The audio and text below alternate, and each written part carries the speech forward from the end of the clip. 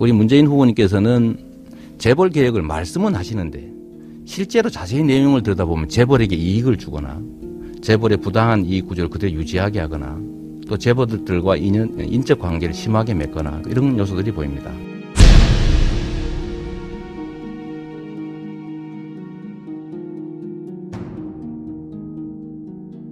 기업이 2015년 한 해에만 납부한 준조세가 16조 4천억의 준조세가 16조 4천억에 달합니다.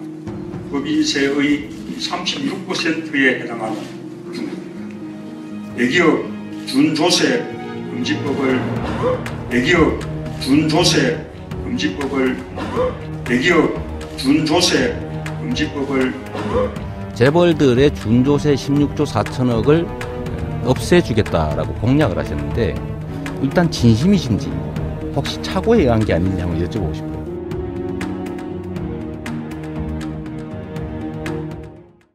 기업들이 하는 경제 활동이 사회의 공익에 부담을 주면서 이루어지기 때문에 그 부담을 이룬 것에 대한 돈을 내놔라.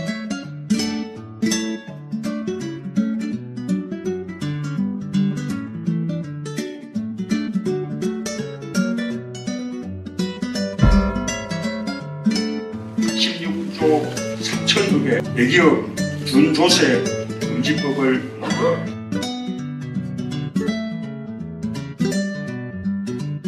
법정 부담금 네. 그것은 법에 근거한 것인데 네. 그것이 뭐가 문제겠습니까? 네. 법에 근거한 것을 말한 것이 아니고 법상 근거가 없는 것을 어, 권력의 힘으로 네. 어, 이렇게 강요해서 받아내는 것을 말하는 것이다라고 분명히 하고요.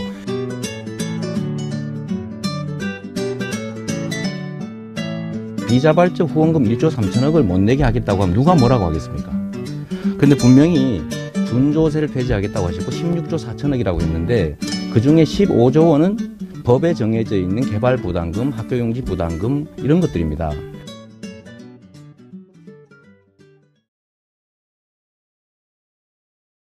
법에 근거한 것을 말한 것이 아니고 법상 근거가 없는 것을 16조 3천억의 그 중에 15조 원은 법에 정해져 있는 개발 부담금, 법에 근거한 것을 말한 것이 아니고 법상 근거가 없는 것을 16조 3천억의 그 중에 15조 원은 법에 정해져 있는 개발 부담금, 16조 3천억의 그 중에 15조 원은 법에 정해져 있는 개발 부담금, 법에 근거한 것을 말한 것이 아니고 16조 4천억이라고 콕 집으셨거든요.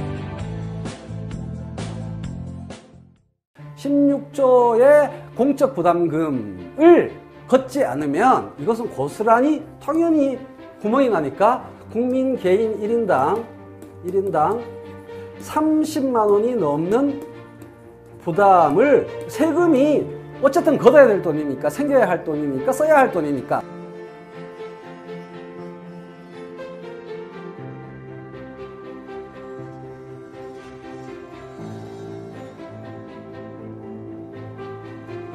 복지 증대도 하셔야 되고 증세도 필요하시다고 하면서 왜 법인세는 증세 대상에서 빼고 계십니까?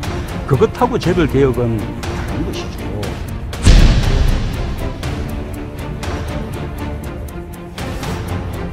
우리 문재인 후보님께서는 재벌 개혁을 말씀은 하시는데 실제로 자세히 내용을 들여다보면 재벌에게 이익을 주거나 재벌의 부당한 이익 구조를 그대로 유지하게 하거나 또 재벌들과 인연, 인적 관계를 심하게 맺거나 이런 요소들이 보입니다. 그래서 저는 기본적으로 이 시대 과제는 재벌의 독점과 혐포를 억제하고 다수 약자들을 그야말로 구호해서 함께 살아가게 하는 억방 의학의 정신이 중요한 문제라고 생각합니다. 그것하고 재벌 개혁은 다른 것이죠. 16조 3천억의 그것하고 재벌 개혁은 다른 것이죠.